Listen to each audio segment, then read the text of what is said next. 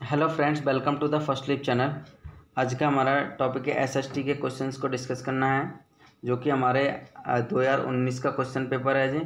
तो इसी के क्वेश्चन को हम डिस्कस करेंगे।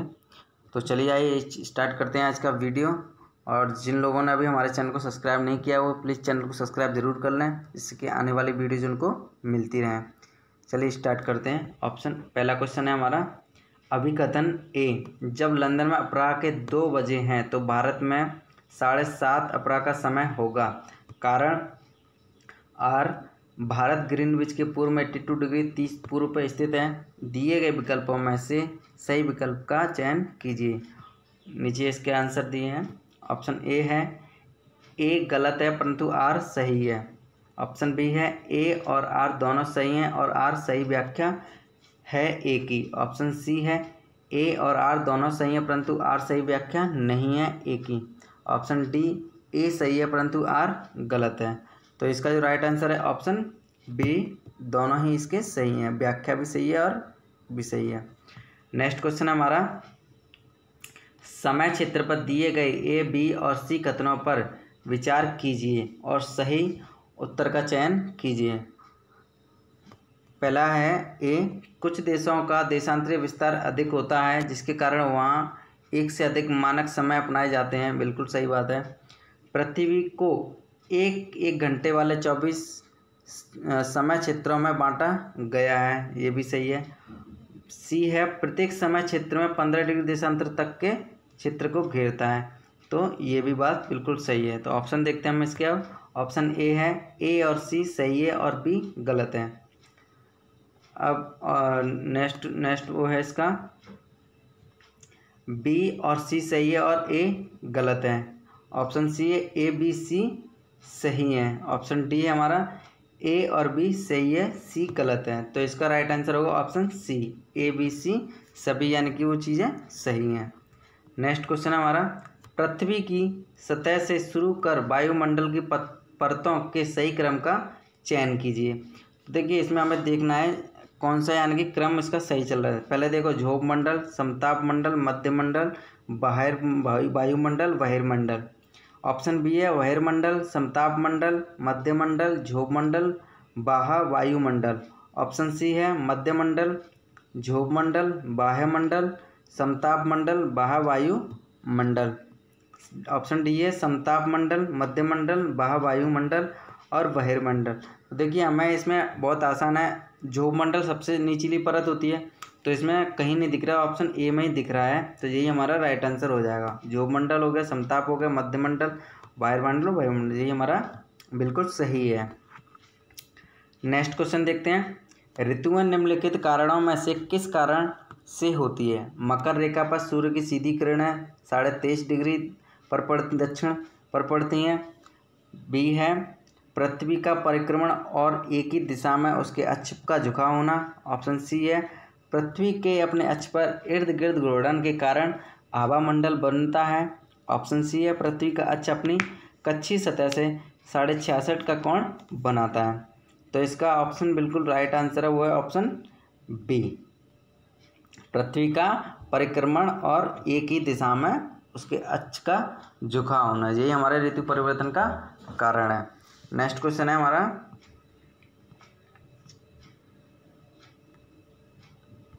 प्रतिशत के अनुसार वायुमंडल में कौन सा प्रमुख घटक है? Option A carbon dioxide option B है नाइट्रोजन ऑप्शन सी है हीलियम ऑप्शन डी है ऑक्सीजन। तो इसमें सबसे ज़्यादा जो पाई जाती है वो ना, नाइट्रोजन गैस पाई जाती है जो कि सेवेंटी एट परसेंट है। तो इसलिए राइट आंसर होगा ऑप्शन बी नेक्स्ट क्वेश्चन है। महासागरी धाराओं के विषय में निम्न कथनों में से कौन से सही हैं? ए, ठंडी धाराएँ ध्रुवीय अथवा उच्च अक्षांशों से जल को उष्ण उष्णकटिबंधीय अथवा निम्न अक्षांशों की ओर ले जाती हैं। लेब्राडोर एक गर्म धारा है सी दिया है, जिस स्थान पर गर्म और ठंडी धाराएँ मिलती हैं, वह स्थान विश्व का सर्वोत्तम मत्स्य क्षेत्र माना जाता है। ऑप्शन दिए इसके। ए और सी सही है।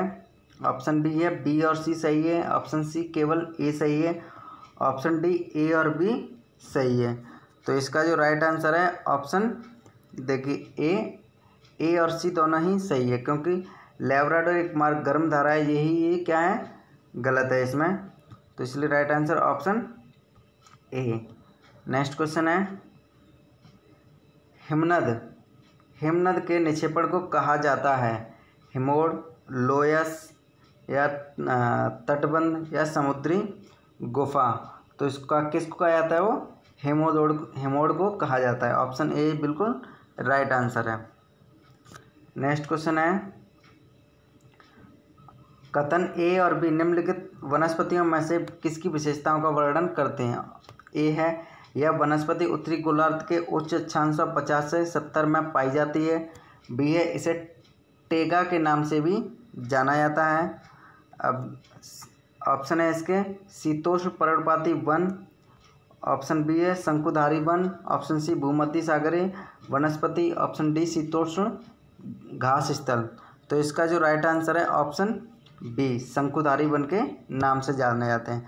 इसमें एक क्वेश्चन और भी बन सकता है, सिर्फ़ विजयी वाला। इसे टेगा के नाम से भी जाना जाता है। टेगा के नाम से किसे जाना जाता है? तब भी शंकुधारी बन ही आएगा। तो इसलिए दो क्वेश्चन इसमें से हमारे बन सकते हैं। नेक्स्ट क्वेश्चन है, निम्नलिखित में से कौन सी गंगा ब्रह्मपुत्र बेसिन की विशेषता नहीं है? ऑप्शन ए मैदानी क्षेत्र में जनसंख्या घनत्व अति अधिक है। ऑप्शन बी, डेल्टा क्षेत्र मैग्रोव वनों से आच्छादित है। ऑप्शन बी, सी, भूमि कृषि के लिए क्षेत्र के में कर्तन और दहन कृषि की जाती है। ऑप्शन डी है, मैदानी क्षेत्र में ओक्सबोल लेक चाप झील चिन्हित है। तो इसका जो राइट आंसर है, ऑप्शन सी, भूमि कृषि के लिए इस क्षेत्र में कर्तन और दहन कृषि की जाती है। नेक्स्ट क्वेश्चन है, तैराक। तैराक मृत सागर में तैर सकते हैं। क्यों? जो मृत, जिसकी मृत्यु हो जाती हो, मृत सॉरी तैराक मृत सागर में तैर सकते हैं। इस सागर में ठंडी धाराओं की अपेक्षा गर्म धाराओं की उत्पत्ति अधिक है। ऑप्शन बी, यह सागर निम्न ज्वार भाटों की अपेक्षा उच्च ज्वार भाटों को अधिक अनुभव करता है। ऑप्शन सी है, नमक की मात्रा की अधिकतम सागर को सघन बनाती है। ऑप्शन डी, पवनें सागर जल की सतह पर तीव्र गति से चलती हैं। तो इसका राइट आंसर होगा ऑप्शन सी नमक की मात्रा की अधिकतम सागर को सघन बनाती है। नेक्स्ट क्वेश्चन है, भूमि उपयोग के संदर्भ में ए और बी कथनों पर विचार कीजिए और सही उत्तर का चयन कीजिए। ऑप्शन ए है सॉरी कथन है ये।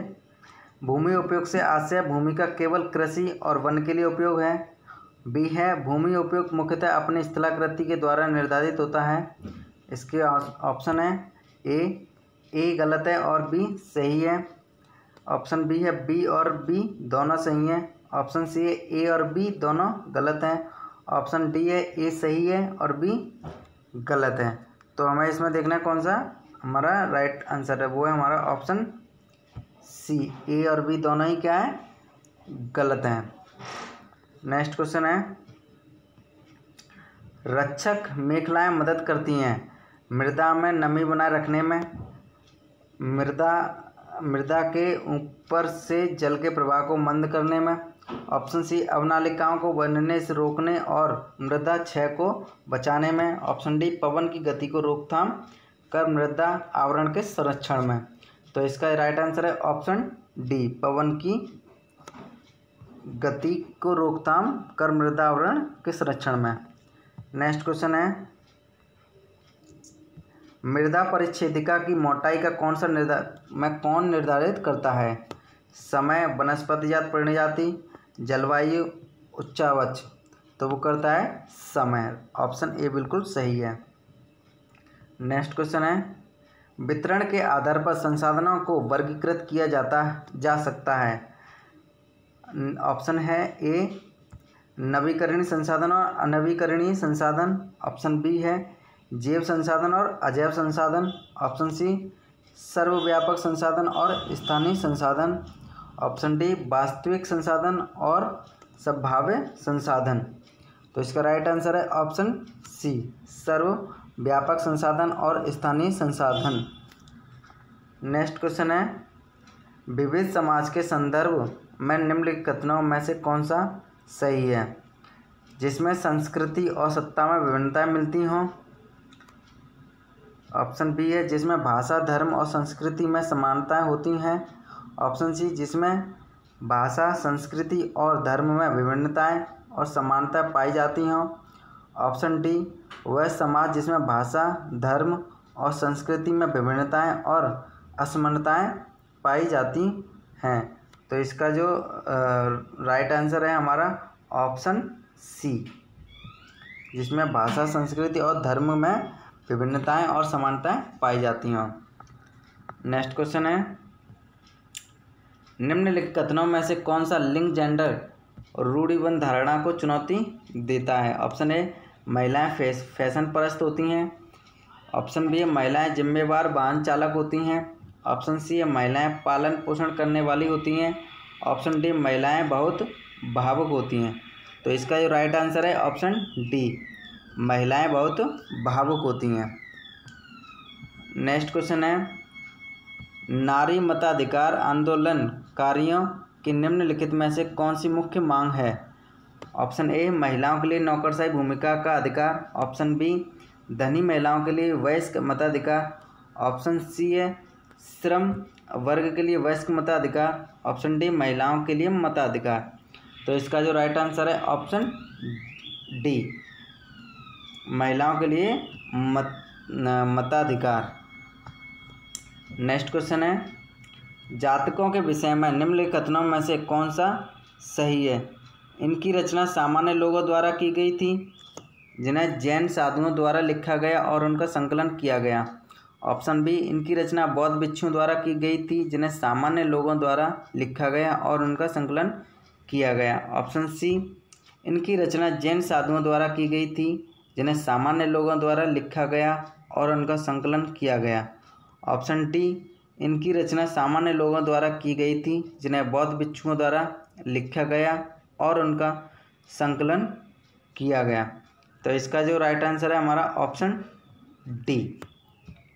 इनकी रचना सामान्य लोगों द्वारा की गई थी, बौद्ध भिक्षु द्वारा लिखा गया और उनका संकलन किया गया। नेक्स्ट क्वेश्चन है, आईने अकबरी के विषय में निम्नलिखित कथनों में से कौन सा सही है? ऑप्शन ए है, इसमें अकबर के पूर्वजों और अकबर के शासन की घटनाओं का विवरण दिया गया है। ऑप्शन बी यह मिर्ज़ा हाकिम द्वारा लिखी गई, जो अकबर के दरबारियों में से एक था। ऑप्शन सी है यह अकबर के प्रशासन के विविध पहलुओं के विषय में संपन्न सांख्यिकी विवरण प्रस्तुत करती है। ऑप्शन डी है, यह अकबरनामा शीर्षक के अंतर्गत अकबर के शासन के इतिहास की तीन जिल्दों में से पहली जिल्द है। तो देखिए, ये हमें अकबर, आईने की, आईने अकबरी के बारे में बात कर रहे थे, इसमें क्या है ऑप्शन सी बिल्कुल सही है। ये अकबर के प्रशासन की, के बारे में जानकारी हमें देती है। नेक्स्ट क्वेश्चन है निम्नलिखित में से किसने अपनी कृतियों को भी शामिल करते हुए बाबा गुरु नानक की रचनाओं को गुरुमुखी में संकलित किया है?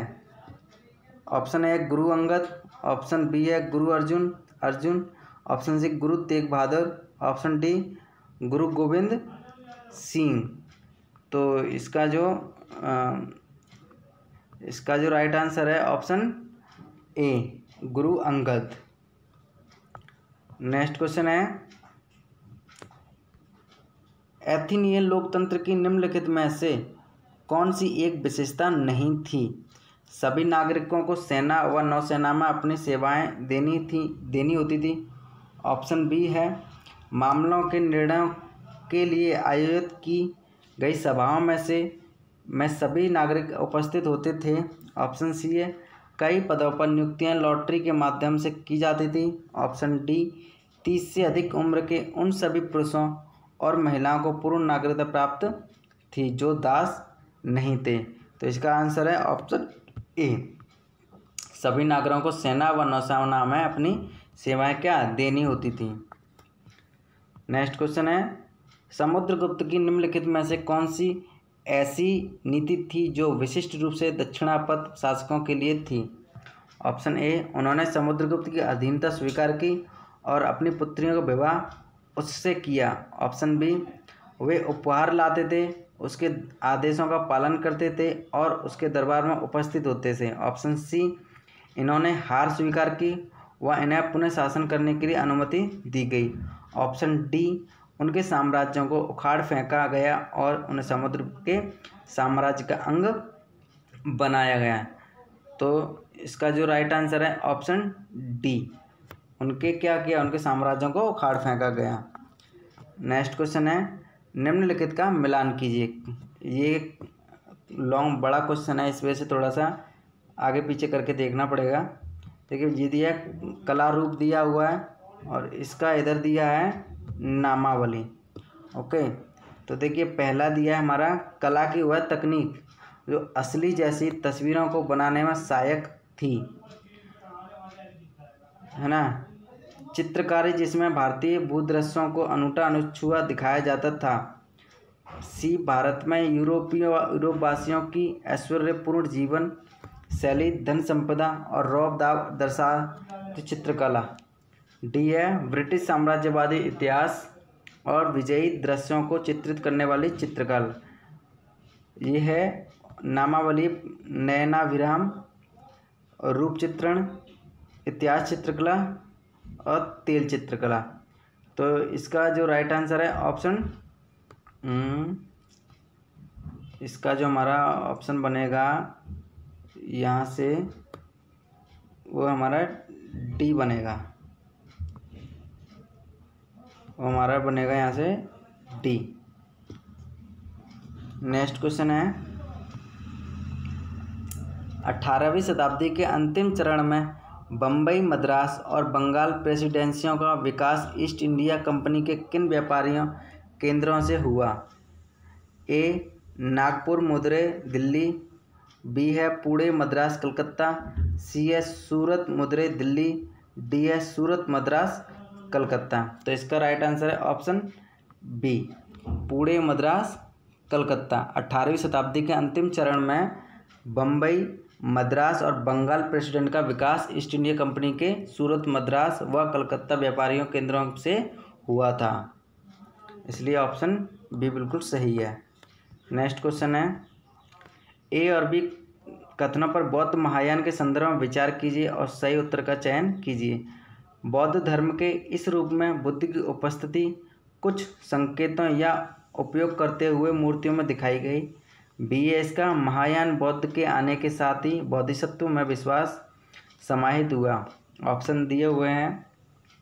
ए गलत है, बी सही है। ऑप्शन बी है, ए और बी दोनों सही हैं। ऑप्शन सी, ए और बी दोनों गलत हैं। ऑप्शन डी, ए सही है, बी गलत है। तो इसका जो राइट आंसर है, बी। सॉरी इसका जो आंसर है हमारा ए क्योंकि क्या है ए वाला जो पहला गलत है और बी जो दिया है वो सही है। महायान बौद्ध के आने के साथ ही क्या हो गया था, बौद्ध सत्व में विश्वास समाहित हुआ था। इसलिए इसका राइट आंसर है ऑप्शन ए नेक्स्ट क्वेश्चन है। महालवारी और रेयतवारी राजस्व प्रणालियों के संदर्भ में ए और बी कथनों पर विचार कीजिए और सही उत्तर का चयन कीजिए। ए है इसका महालवारी बंगाल प्रेसिडेंसी के उत्तर पश्चिम प्रांतों के लिए युक्ति थी, जबकि रेयतवारी ब्रिटिश नियंत्रण वाले दक्षिण भारतीय इलाकों के लिए थी। बी है महालवारी में गाँव का मुखिया पूरे गाँव के संकलित राजस्व को, कंपनी को अदा करता था, जबकि रेयतवारी में क्या था? किसानों के साथ सीधा समझौता किया जाता था। ऑप्शन है इसके, केवल बी बी, दो राजस्व व्यवस्थाओं के बीच अंतर को सही स्पष्ट करता है। ऑप्शन बी है, ए और बी दोनों दो राजस्व व्यवस्थाओं के बीच अंतर को सही स्पष्ट करते हैं। ऑप्शन सी है, ना तो ए और ना ही बी दो राजस्व व्यवस्थाओं के बीच अंतर को सही स्पष्ट करते हैं। ऑप्शन डी है, केवल ए दो राजस्व व्यवस्थाओं के बीच अंतर को सही स्पष्ट करता है। तो इसका जो राइट आंसर है, ऑप्शन बी। ए और बी दोनों राजस्व व्यवस्थाओं के बीच अंतर को सही स्पष्ट करते हैं। नेक्स्ट क्वेश्चन है हमारा। सूफी संत के मकबरे को जाना जाता है। ईदगाह गुल्फसरोस दरगाह, खानखा। तो वो जाना जाता है हमारा किससे? दरगाह। नेक्स्ट क्वेश्चन है विशिष्टा विशिष्टाद्वैत का सिद्धांत ग्यारहवीं शताब्दी में प्रस्तावित किया गया। बासवन्ना द्वारा, एकनाथ द्वारा सखुबाई द्वारा, रामानुज द्वारा। तो किसके द्वारा किया गया था? रामानुज द्वारा। ऑप्शन डी इसका राइट आंसर है। नेक्स्ट क्वेश्चन है, भारत में सत्रह सौ बहत्तर में स्थापित की गई दीवानी अदालत के संबंध में ए और बी कथनों पर विचार कीजिए और सही उत्तर का चयन कीजिए। ए है इसका, यह एक फौजदारी अदालत थी। बी है, यह यूरोपियन जिला जिलाधीशों की अध्यक्षता में चलता था। ऑप्शन है इसके ए और ए गलत है बी सही है ऑप्शन बी है ए और बी दोनों सही हैं ऑप्शन सी है ए और बी दोनों गलत है ऑप्शन डी ए सही है बी गलत है।